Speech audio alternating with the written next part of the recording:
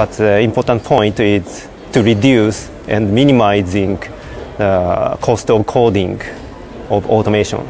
That's why the CSP needs uh, AI-empowered operational uh, architecture to achieve uh, the 5G network uh, to provide emerging B2B customers, enterprise.